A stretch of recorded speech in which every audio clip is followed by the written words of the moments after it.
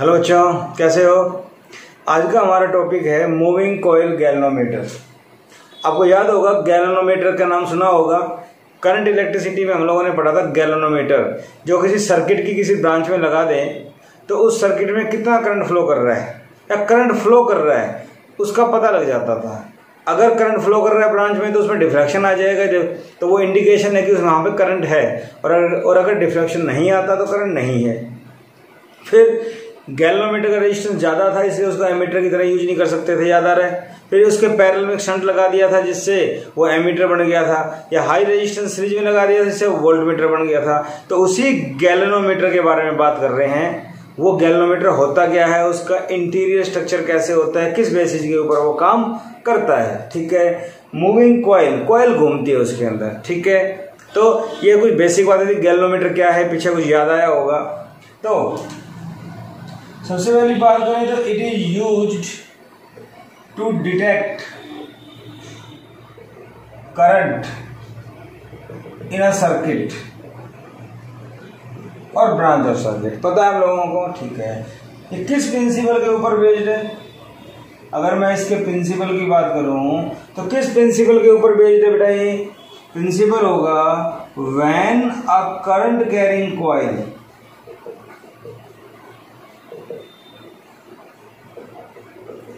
is placed in a magnetic field uniform magnetic field ज्यादा बढ़िया रहेगा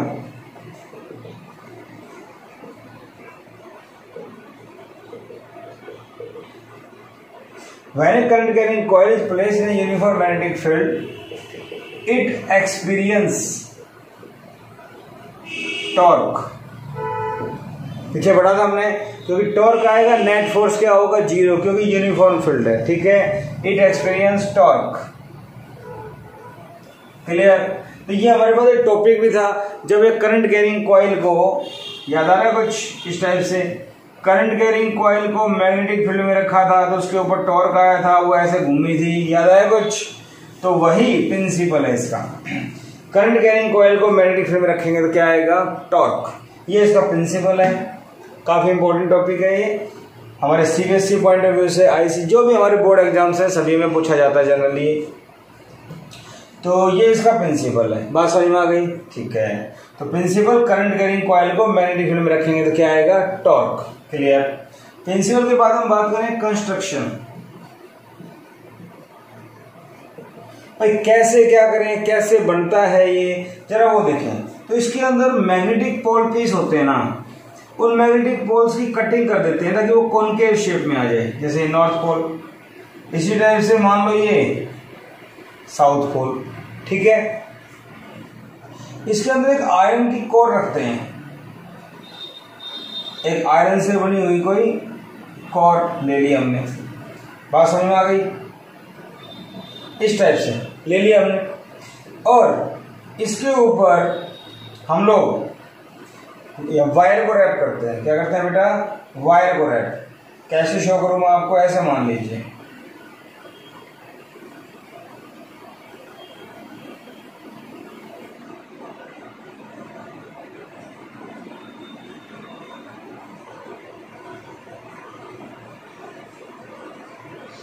समझ पा रहे हैं वायर को रैप किया हुआ है वायर लपेटी हुई है इसके ऊपर और यहां से एक मिरर लगाया जाता है और ये कोई भी पॉइंट होता है टी कॉन्टेक्ट पॉइंट ठीक है ये कॉइल है वायर हुई है कॉइल सिलेंड्रिकल ड्रम है सिलेंड्रिकल आयरन ड्रम या आयरन कोर ठीक है सिलेंड्रिकल आयरन कोर हो जाएगी इसके ऊपर वायर लपेटी हुई है ठीक है बेटा ये होता है मिरर इसके अंदर पॉइंटर लगा होता है जिससे हम लोग डिफ्लेक्शन नोट करते हैं कितना डिफ्लेक्शन आया स्केल भी होता है उसको मैं यहाँ पे रिप्रेजेंट नहीं कर सकता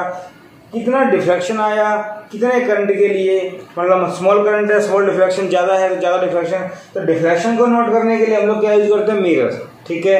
जनरली इसका बेसिक डायग्राम क्या बनता है समझाने के लिए बताया ये इसको हम ऐसे बना देते हैं नॉर्थ पोल साउथ पोल अंदर जो कोर रखी हुई है आयरन की सॉफ्ट आयरन की सॉफ्ट आयरन कोर वो सिलेंड्रिकल भी हो सकती है और स्फेरिकल भी हो सकती है यहां पे मैं स्फेरिकल लेके चलता हूं देखो समझ गए स्फेरिकल आयरन कोर और स्फेरिकल आयरन कोर है यहां पे एक स्प्रिंग लगी होती है यहाँ पे एक स्प्रिंग लगी होती है और इसके ऊपर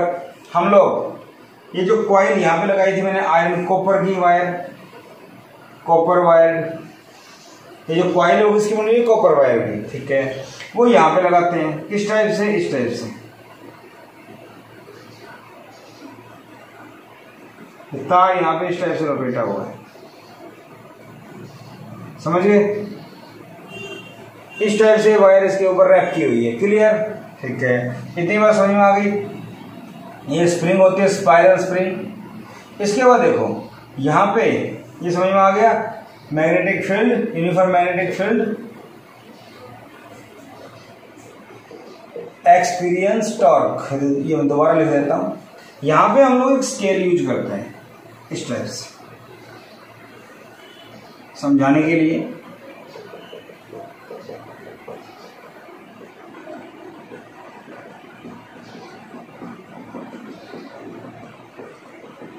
इस टाइप से ले लिया और यहाँ से हमें पॉइंटर लेके चलते हैं वो यहाँ पे आता है ठीक है इसको मैं लिखू कॉन्केव मैग्नेटिक पोल पीसीज ठीक है कॉन्केव मैग्नेटिक पोल पीसीज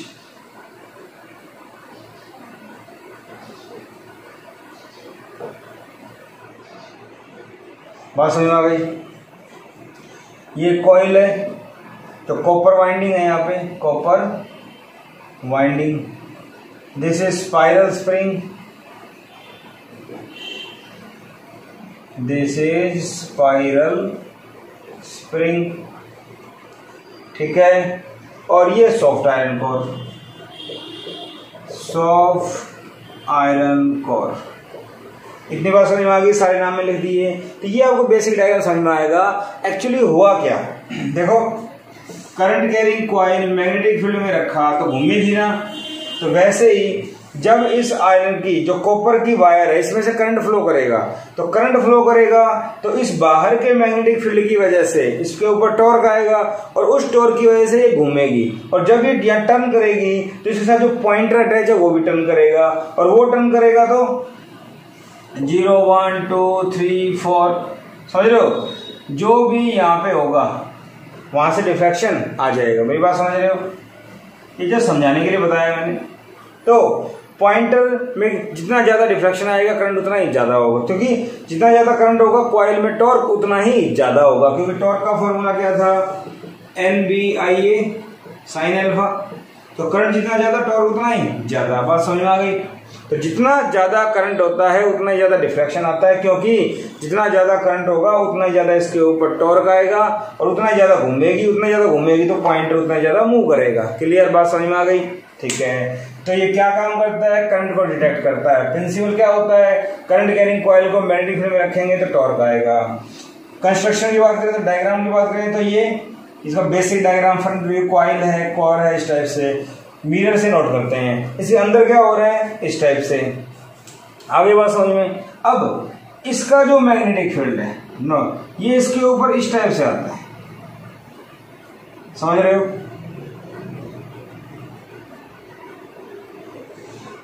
समझ रहे हो मेरी बात ये जो आयरन की कोर रखी हुई है सॉफ्ट आयरन कोर इस आयरन कोर का फायदा क्या है इस आयरन कोर का फायदा ये है कि कॉयल कैसे भी घूमे ये जो मैग्नेटिक फील्ड है ये हमेशा क्वाइल के प्लेन के क्या होगा पैरेलल क्वाइल के प्लेन के क्या होगा पैरेलल और जब ये मैग्नेटिक फील्ड क्वाइल के प्लेन के पैरेलल है तो याद हो तो क्या होता था N I B A sine alpha याद आ रहा कुछ जब क्या होता है N I B A sine alpha alpha is the angle between magnetic field and normal vector of area area का नॉर्मल वेक्टर तो अगर मैग्नेटिक फील्ड ये कॉइल है ये नॉर्मल है मैग्नेटिक फील्ड ऐसे है नॉर्मल ऐसे है तो एंगल 90 हो गया और अगर अगर मैग्नेटिक फील्ड कॉइल के प्लेन के पैरेलल हो हमेशा अगर मैग्नेटिक फील्ड के पैरेलल हो तो अल्फा कितना हो जाएगा 90 अल्फा 90 होगा तो टॉर्क क्या हो जाएगा मैक्सिमम तो अंदर सॉफ्ट एंड कोर रखने से और पोल पीसी को कॉन्केव करने से ऐसी सिचुएशन बनती है कि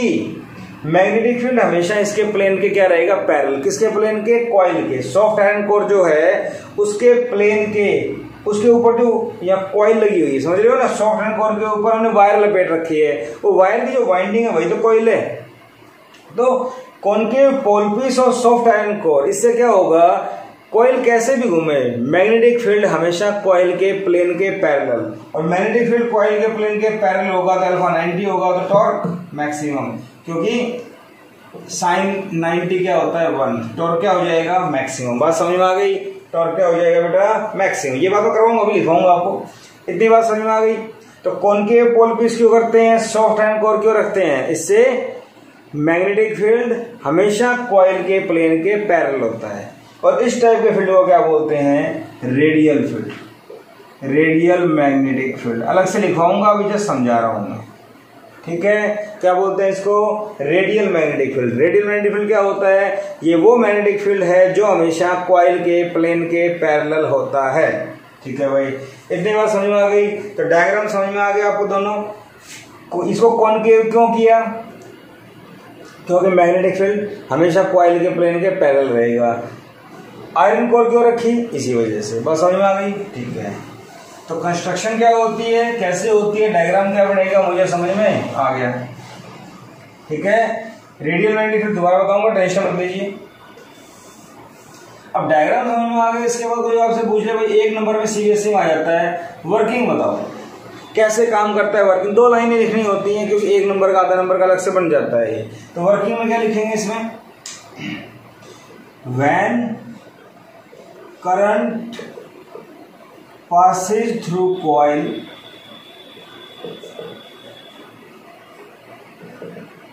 it experience torque due to external magnetic field of concave pole pieces लिख सकते हो याद भी रहेगा कॉनकेव पोल पीस की वजह से मैग्नेटिक फील्ड था उसकी वजह से क्या आएगा टॉर्क ठीक है कोयल रोटेट्स कोयल घूमेगी अरे बोलो coil rotates spiral spring also rotates ठीक है जो स्पाइरल स्प्रिंग बनाई थी मैंने वो भी घूमेगी so so, Restoring torque is produced in spiral spring. Spiral spring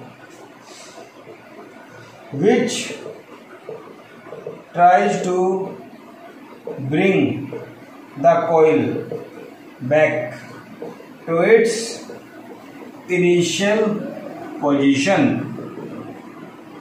बात समझ में गई स्प्रिंग में रिश्वन टॉर्क आएगा वो उसको वापस लाने की कोशिश करेगा ठीक है मतलब उसको आगे जाने से रोकेगा बोलो ठीक है ये चार लाइनें याद कर लोगे जब करंट पास करेंगे तो टॉर्क आएगा अब टॉर्क आएगा तो कोयल घूमेगी कोयल घूमेगी तो जो स्पाइरल स्प्रिंग लगी हुई है वो भी घूमेगी और देखो जब एक स्प्रिंग होती है उसके ऊपर फोर्स लगाया तो क्या बोलते हैं इसको रिस्टोरिंग फोर्स लेकिन जब एक स्पाइरल स्प्रिंग है समझ रहे हो और इसके ऊपर फोर्स लगाओगे तो ये घूमेगी और जब घूमती है तो फोर्स की वजह से क्या बनेगा टॉर्क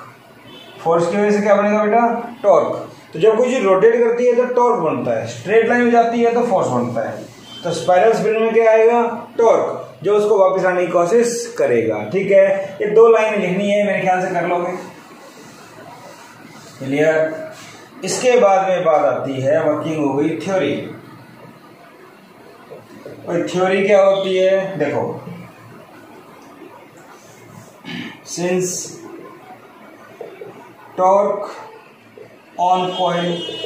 coil के ऊपर टॉर्क का फॉर्मूला क्या होता है tau equal to N I B A sine alpha ठीक है होता है फॉर्मूला यहां मैं लिख देता हूं वेयर टू क्या होता है टॉर्क ऑन कॉइल आई क्या होता है करंट इन कोयल बी क्या होता है एक्सटर्नल मैग्नेटिक फील्ड समझ गए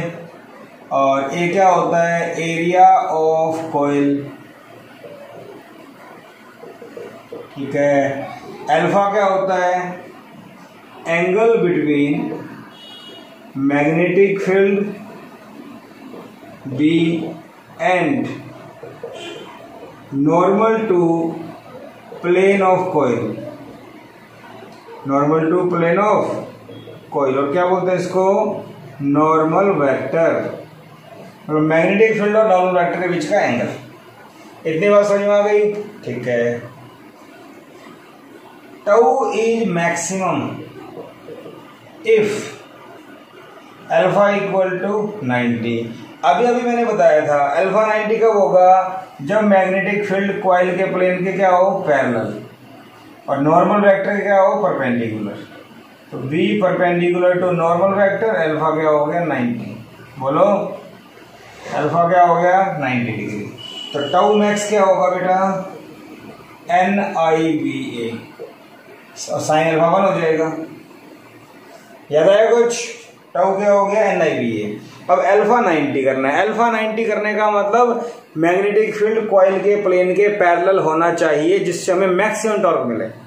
हम चाहते हैं कि थोड़ा सा करंट आए उसके लिए भी गैलोमीटर डिफ्लेक्शन दिखाए और वो कब दिखाएगा जब टॉर्क क्या हो मैक्सिमम और मैक्सिमम टॉर्क कब मिलेगा जब कॉइल का प्लेन मैग्नेटिक फील्ड के क्या हो पैरेलल और वो हमेशा उसके पैरेलल रहे इसीलिए हमने क्या रखा मैग्नेटिक पोल्स को क्या कर दिया कॉन्केव अंदर क्या रख दिया सॉफ्ट आयरन कोर जिससे क्या हो गया कॉयल का प्लेन हमेशा मैग्नेटिक फील्ड के पैरेलल और इस फील्ड को क्या बोलते हैं रेडियल मैग्नेटिक फील्ड कुछ दोबारा अभी दोबारा मैंने रिपीट किया कुछ समझ में आया क्यों किया था हमने रेडियल मैग्नेटिक फील्ड जरूरत क्यों पड़ी टॉर्क को मैक्सिमम करने के लिए टॉर्क को मैक्सिमम करने के लिए ठीक है लेट के restoring torque per unit twist और टॉर्शनल कांस्टेंट के मैंने मान लिया restoring torque per unit twist और टॉर्शनल कांस्टेंट के को क्या नाम दे दिया मैंने टॉर्शनल कांस्टेंट मतलब क्या है जब स्पाइरल स्प्रिंग रोटेट करेगी तो उस टाइम उसके अंदर रिस्टोरिंग टॉर्क आएगा तो रिस्टोरिंग टॉर्क एक डिग्री रोटेशन के लिए कितना है के तो एक डिग्री मानो पांच डिग्री घुमा तो एक डिग्री के लिए के है तो पांच के लिए कितना हो गया फाइव के तो बात समझ रहे हो तो एक डिग्री रोटेशन के लिए कितना रिस्टोरिंग टॉर्क आया के इसको बोलते हैं टॉर्शनल कॉन्स्टेंट क्लियर है लेट थीटा ट्विस्ट एंगल मतलब कितना मुड़े थीटा तो टोटल रिस्टोरिंग टॉर्क तो टोटल रिस्टोरिंग टॉर्क कितना हो गया भाई tau equal to K theta clear है एक डिग्री एंगल के लिए के तो थीटा के लिए कितना हो गया के थीटा बात समझ में आ गई इक्वेशन नंबर दो equation number one maximum torque है इतनी बात समझ में आ गई ये भी मैक्सिमम ही होगा क्लियर अब आपको पता है कि जितना करंट आएगा उसके लिए वो सुई लेगी बाद में रुकेगी वो रुकती क्यों है क्योंकि रिस्टोरिंग टॉर्क और कॉइल के ऊपर जो टॉर्क आया वो दोनों बैलेंस हो जाते हैं क्या हो जाते हैं बैलेंस दोनों रुक जाते हैं ठीक है तो एट इक्विलिब्रियम इक्विलिब्रियम का होना जो दोनों बराबर हो जाएंगे तो K theta equal to N I B हाँ या ना अच्छा मैं यहाँ पे एन बताना भूल गया एन क्या होता है number of turns in coil coil में नंबर ऑफ टर्न्स क्या होते हैं एन ठीक है इतनी बात समझ में आ गई अरे इतनी बात समझ में आ गई ठीक है हम क्या लेके चल रहे हैं टॉर्को मैक्सिमम टॉर्को मैक्सिमम का मतलब मैग्नेटिक फील्ड हमेशा कोयल के प्लेन के पैरेलल है इसका मतलब रेडियल फील्ड है क्लियर ओके यहां से मैं आई निकालता हूं तो बेटा यहां से क्या आ जाएगा के अपोन में N B theta I I N B नीचे आ जाएगा के थीटा इतनी बात समझ में आ गई इतनी बात समझ में आ गई ठीक है भाई इतनी बात मुझे समझ में आ गई आप लोगों को भी आ गई यहां से अगर मैं देखूं तो जी मान लेता हूं इसको आई तो I equal to G theta I proportional to theta where G is a constant और गैल्वेनोमीटर गैल्वेनोमीटर कांस्टेंट क्या बोलते हैं इसको galvanometer constant K upon N B A को हमने क्या नाम दे दिया ये बोलो गैल्वेनोमीटर कांस्टेंट गैल्वेनोमीटर कांस्टेंट बात समझ में आ गई ठीक है तो मुझे ये समझ में आ गया आई प्रोपोर्शनल थीटा देखो भाई अगर आई थीटा के प्रोपोर्शनल है तो क्या आ गया यहाँ पे थीटा यहाँ पे आई अगर ये दोनों डायरेक्टली प्रोपोर्शनल है तो क्या होगा स्ट्रेट लाइन अरे ओम्सलो याद है V proportional to I Ohm's law proportional थे तो वी और आई का ग्राफ कैसा आया था स्ट्रेट लाइन याद है ना तो वैसे ही अगर ये प्रोपोर्शनल है तो कैसा ग्राफ आएगा स्ट्रेट लाइन इतनी बात समझ में आ गई अरे बोलो इतनी बात समझ में आ गई स्ट्रेट लाइन ये सारा क्यों आया स्ट्रेट लाइन क्यों आई आई टू थीटा क्यों आया सब टॉर्क को मैक्सिमम करने से टॉर्क को मैक्सिमम करने का मतलब रेडियल मैग्नेटिक फील्ड याद आया कुछ ठीक है ये सारी बातें मुझे समझ में आ गई आई प्रपोर्शन थीटा होता है जी होता है ये होता है सब ठीक है इसके बाद देखो भाई काम की बातें करें ये सारा समझ में आ गया कोई आपसे पूछे रेडियल मैग्नेटिक फील्ड क्या होता है भाई बताओ तो हम लिखेंगे it is the magnetic field which is always parallel to plane of coil ये वो मैग्नेटिक फील्ड है जो हमेशा कोयल के प्लेन के क्या होगा पैरल ठीक है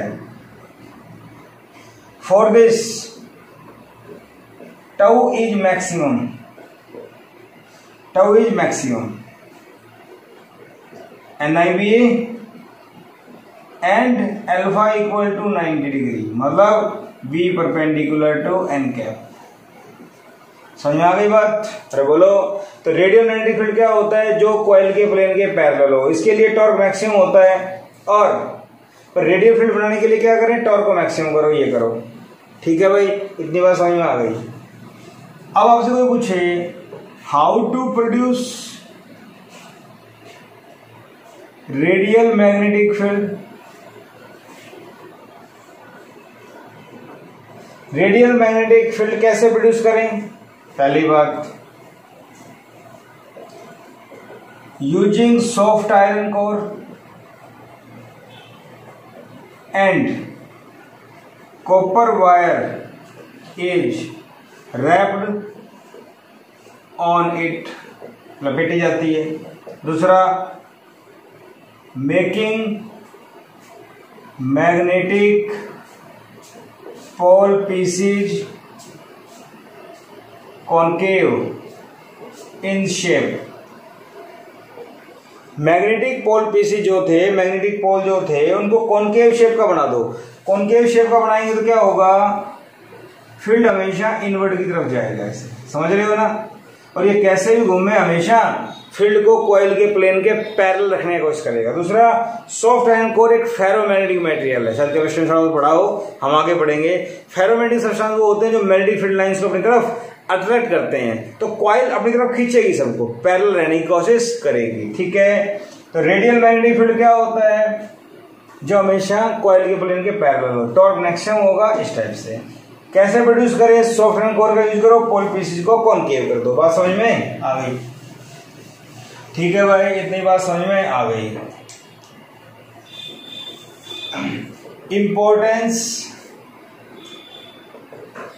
importance of radial field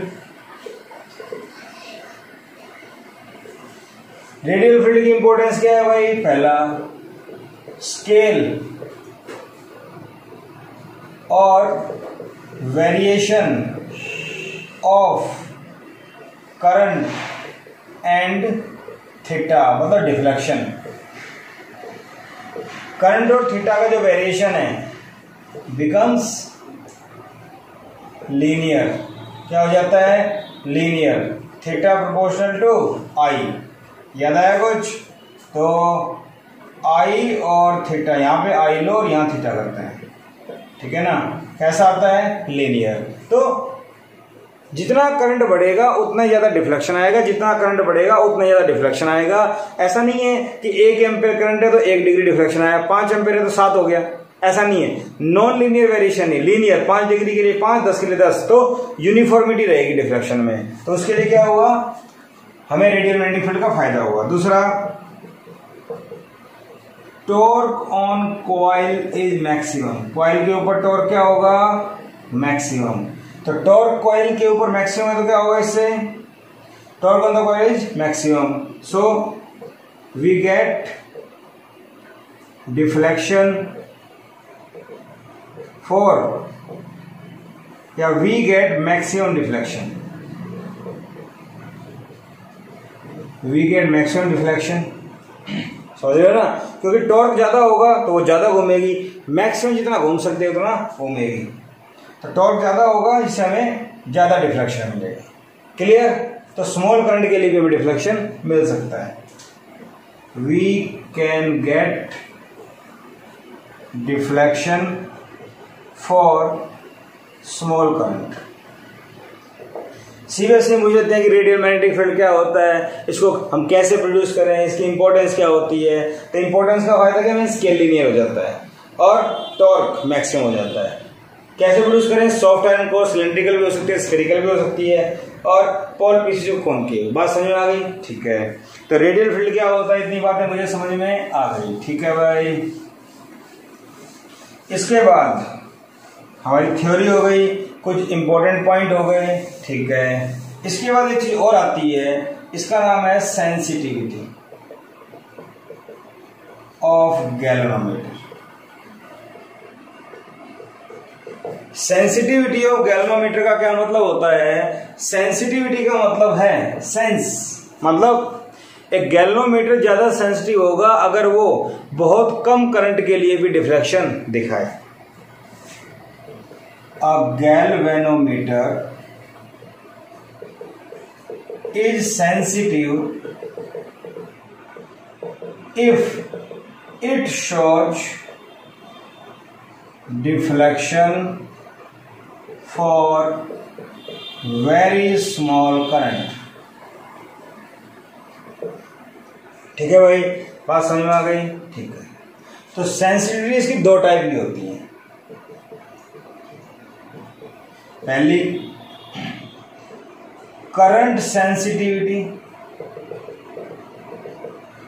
तो बेटा करंट सेंसिटिविटी क्या होती है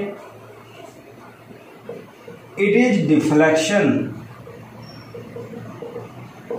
in galvanometer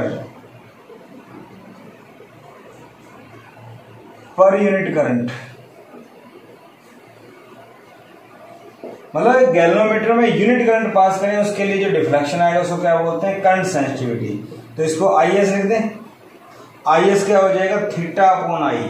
थीटा क्या है डिफ्लेक्शन डिफ्लेक्शन का मतलब कितना मुड़ेगी मुड़ेगी मतलब एंगल तो डिफ्लेक्शन बटे करंट यूनिट क्या हो जाएगी इसकी आ, रेडियन पर एम्पियर बोलो रेडियन पर एम्पियर बात समझ में आ गई डिफ्रैक्शन पर यूनिट करंट करंट सेंसिटिविटी तो जितना कम करंट होगा और अगर थीटा कांस्टेंट है तो करंट सेंसिटिविटी इतनी ज़्यादा होगी मतलब कम करंट के लिए भी डिफ्रैक्शन ज़्यादा हो तो सेंसिटिविटी ज़्यादा हो गई करंट सेंसिटिविटी बात समझ में आ गई ठीक है इसके बाद आती है वोल्टेज सेंसिटिविटी वोल्टेज सेंसिटिविटी तो वोल्टेज सेंसिटिविटी क्या होती है it is deflection In galvanometer, if unit potential difference is applied across it,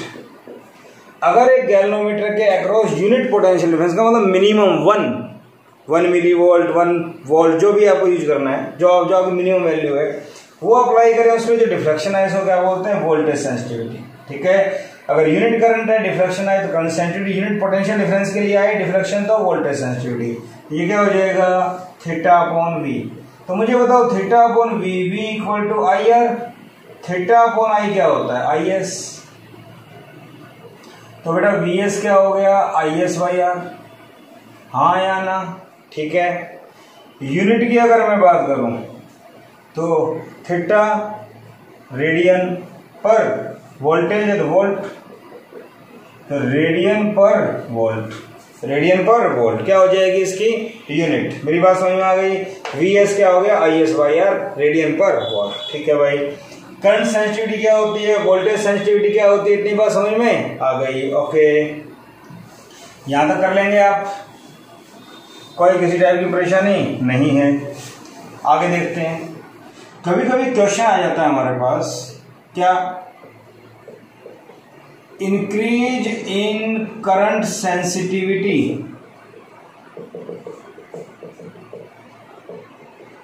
may not necessarily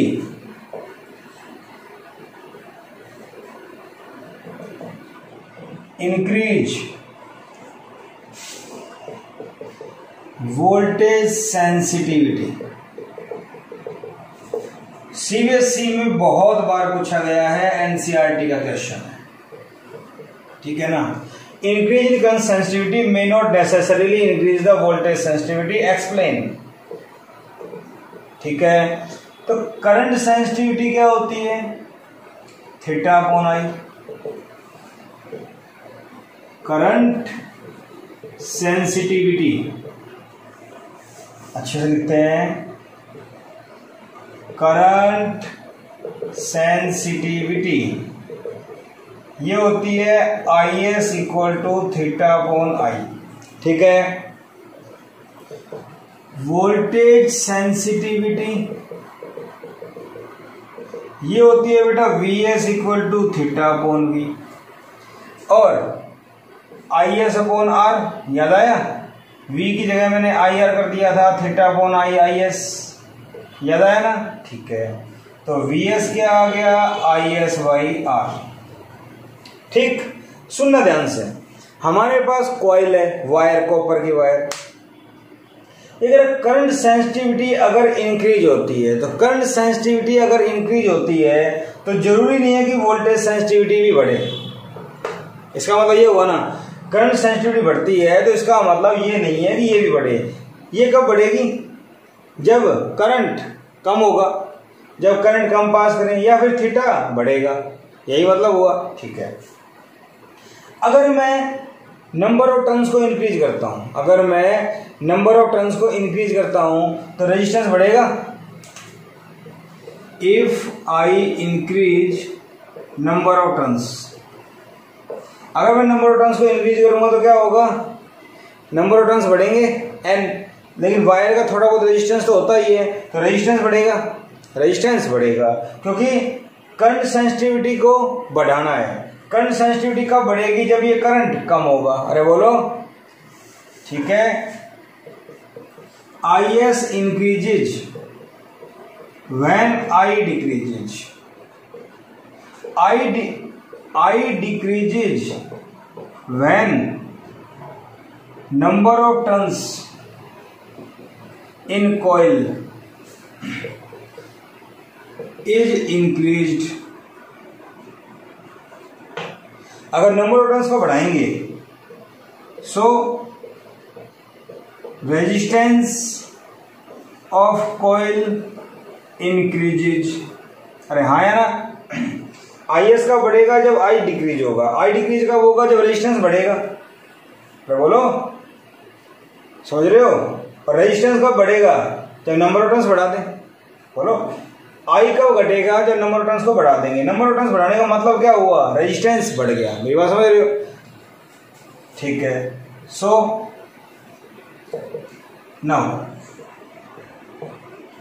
V S equal to I S by R है if I S and R increases in same ratio भाई मैं number order बढ़ाऊंगा तो resistance बढ़ेगा और I S बढ़ेगा तो I S बढ़ रहा है तो रेजिस्टेंस भी बढ़ रहा है लेकिन अगर रेजिस्टेंस और आई एस सेम रेशियो में बढ़े आई एस और आर अगर सेम रेशियो में बढ़े then V S remains unchanged हाँ या ना वी एस क्या हो जाएगा अनचेंज तो इतनी सी बात देखनी है एक नंबर में आ जाए तो आपको क्या लिखना है if I S and R increase in same ratio then V S remains unchange answer हो गया अगर दो नंबर में आ जाए तो आपको थोड़ा सा बताना पड़ेगा अच्छा इफेक्ट जाएगा आपका ठीक है कर लेंगे क्वेश्चन आ जाता है इंपॉर्टेंट ठीक है भाई इसके बाद हम लोग देखते हैं कि सेंसिटिविटी कैसे बढ़ा सकते हैं भाई सेंसिटिविटी क्या होती है हमें पता लग गई कैसे बढ़ाएं how to increase sensitivity of a galvanometer moving coil galvanometer shortcut में बोल देते हैं एमसीजी क्या बोल देते हैं एमसीजी तो देखो since K theta equal to N I B ये तो मुझे याद रहेगा ही रहेगा थीटा अपॉन आई क्या हो जाएगा N B A upon K theta upon I क्या होता है करंट सेंसिटिविटी अरे बोलो करंट सेंसिटिविटी इतनी बात मुझे समझ में आ गई तो करंट सेंसिटिविटी का फॉर्मूला मैंने लिख लिया तो करंट सेंसिटिविटी मतलब सेंसिटिविटी कब बढ़ेगी भाई करंट सेंसिटिविटी से ही वोल्टेज सेंसिटिविटी रिलेटेड है तो अगर नंबर ऑफ टर्न्स बढ़ाऊंगा तो बढ़ेगी अगर मैग्नेटिक फील्ड को बढ़ाऊंगा तो बढ़ेगी एरिया को बढ़ाऊंगा तो बढ़ेगी और के को डिक्रीज करूंगा तो बढ़ेगी समझ गए I S can be increase number one by increasing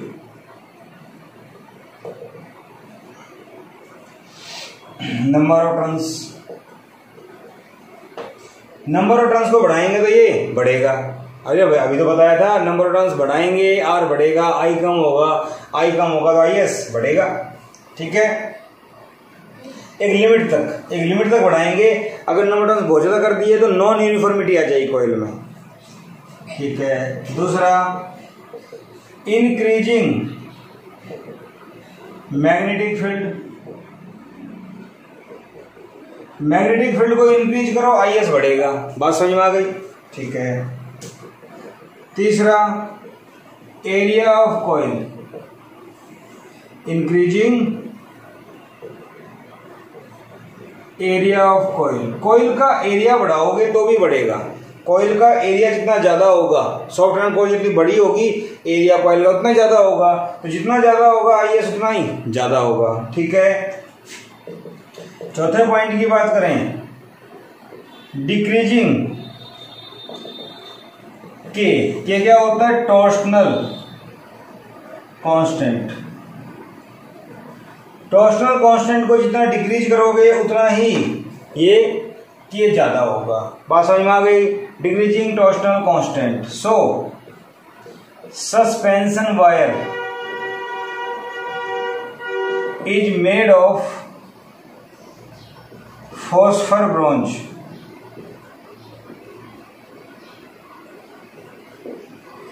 आपको याद है मैंने अभी एक क्वाइल बनाई थी यहां पे एक मिरर लगाया था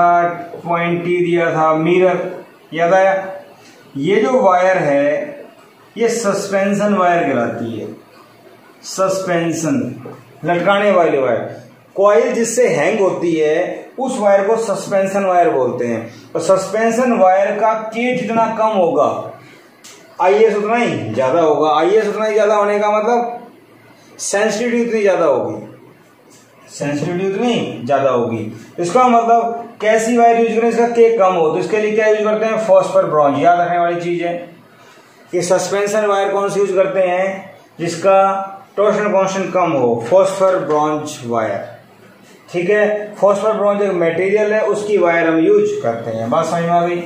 तो के डिक्रीज करने सेंसिटिव रहेगी इसलिए फॉस्फर ब्रॉन्ज वायर यूज करते हैं इतनी बात समझ में आ गई इतनी बात समझ में आ गई ठीक है भाई तो फॉस्फर ब्रॉन्ज वायर को यूज करते हैं इससे सेंसिटिविटी बढ़ जाती है अगर कोई आपसे पूछ ले भाई properties of suspension wire suspension wire कैसे होनी चाहिए कौन कौन सी प्रॉपर्टी होनी चाहिए number one torsional constant must be small अभी अभी पढ़ा था हमने पहला पॉइंट ठीक है अरे बोलो ठीक है इतनी बात समझ में अभी रस्टलेस रेस्टलेस होनी चाहिए समय के साथ उसके ऊपर जर्नी लगना चाहिए ठीक है रेस्टिंग नहीं होनी चाहिए तीसरा temperature coefficient of resistance must be small temperature coefficient of resistance जो होता है वो काफ़ी स्मॉल होना चाहिए क्योंकि टेम्परेचर के चेंज होने से इसका रेजिस्टेंस चेंज नहीं होना चाहिए ठीक है चौथा हाई कंडक्टिविटी ठीक है अरे बोलो हाई कंडक्टिविटी होनी चाहिए high tensile strength tensile strength याद होगा प्रश्न में था काफी शॉर्टकट में बात करें काफी मजबूत होना चाहिए टूटनी नहीं चाहिए जल्दी से वो लोड की वजह से टूटनी नहीं चाहिए टेंसाइल स्ट्रेंथ होनी चाहिए ठीक है तो ये पेपर में कई बार पूछ लेते हैं सीबीएसई में कि सस्पेंशन वायर जो उसमें प्रॉपर्टी बताओ तो ये प्रॉपर्टीज भी आपको आनी चाहिए ठीक है अब इसके ऊपर क्वेश्चंस कैसे बन जाते हैं सिंपल से क्वेश्चन बनते हैं अपने पास फॉर्मूला है K theta equal to N I B याद आ रहा है कुछ अपने पास फॉर्मूला है ये इसमें आपके पास मान लो क्वेश्चन दे दिया जाए क्या in moving coil galvanometer in moving coil galvanometer a current of 20 milliampere is passed through a coil of area 4 centimetre square ठीक है of area four centimetre square and a magnetic field of ten tesla is applied मैं just ऐसी value ले रहा हूं and number of turns in coil is hundred find torsional constant torsional constant बताओ क्या होगा तो बेटा फॉर्मूला है मेरे पास K N I B A upon theta N कितना लिया मैंने हंड्रेड आई कितना है यहाँ पे बीस मिली एम्पियर मिली का मतलब माइनस थ्री बी कितना है टेन एरिया कितना है फोर सेंटीमीटर स्केयर तो फोर सेंटीमीटर स्केयर एक सेंटीमीटर में कितने मीटर होते हैं टेन इंस to power minus two square करूंगा तो माइनस फोर बोलो ठीक है डिवाइड बाई थीटा कितना है hmm, नहीं दिया इफ डिफ्लेक्शन इन गैलोमीटर या deflection in M C G is twenty degree ये मान लिया मैंने तो ट्वेंटी इसको रेडियो में चेंज करो डिग्री में रहने दो ये आ गया तो के कितना आ जाएगा सोल्व करके एक दो तीन तीन जीरो से तीन जीरो कैंसिल जीरो से जीरो कैंसिल टू टू जा फोर तो कितना आ गया two two four four ten raise to power minus four ठीक है four ten raise to power minus four इतनी बात समझ में आ गई यूनिट क्या होगी तो देखो के थीटा इक्वल टू क्या आया था टॉर्क आया था तो टॉर्क क्या होता है फोर्स इंटू डिस्टेंस तो न्यूटन मीटर या joule divide by theta degree radian में तो चेंज किया नहीं हमने डिग्री में ही रखा है इसको ठीक है या फिर मैं इसको बोल सकता हूँ four ten raise to power minus four joule पर डिग्री मेरी बात समझ में आ गई